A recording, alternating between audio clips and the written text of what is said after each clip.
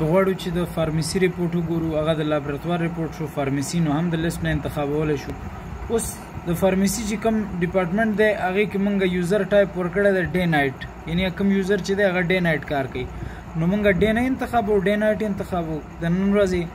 فارمسي نو مونږ سره به د فارمسي رپورټ اوپن کیږي نو اخیری پیج ته چې د دې اپشن په واسطه لاړ شو نو موږ ته وایي چې دومره فارمیسي ټوټل کار کړی دی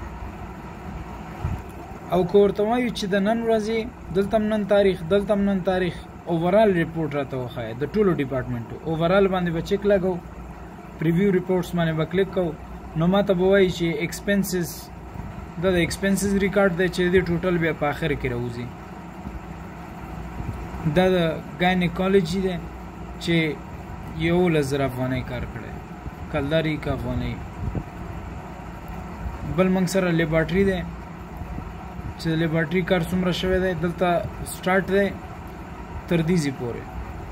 نیکسټ پیج پورې شپږ زره یو سل اویا او پی ډي څومره کار کړی دی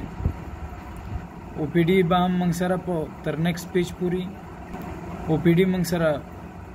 ټوټل کار شوی دی تم فارمیسی دی پسې فارمیسی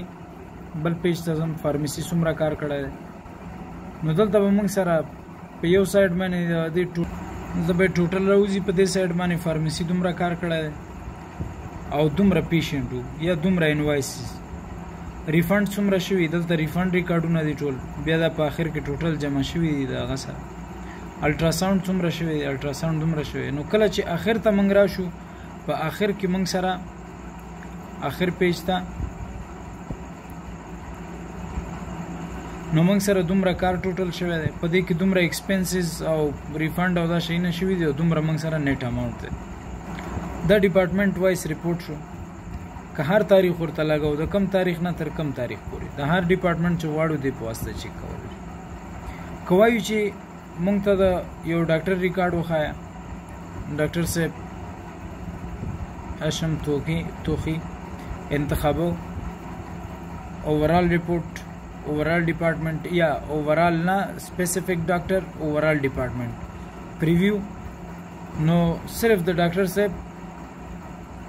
اشم رپورټ به په دې ځکه موږ سره راځي ډاکټر صاحب به ما یو ډاکټر نو په اخر کې به ټوټل پته لګیږي چې نن دې څومره بزنس کړی دی هسپټل لپاره دومره ټوټل که اوورال ډاکټرز والو نو ټول ډاکټرانو ریکارډ براته خای یو سپیسیفیک ډاکټر بنی او کله نه چې کلری کوچ یعنی د ټولو ډاکټرانو صرف فارمیسی وخای یا مثال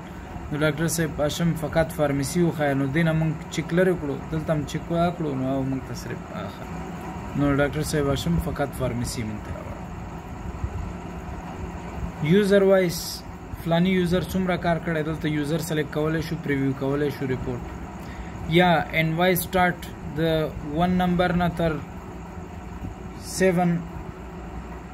د اول نه تر وم انوایس پورې څومره کار شوی دی مونږ ته وخایې نو هغه به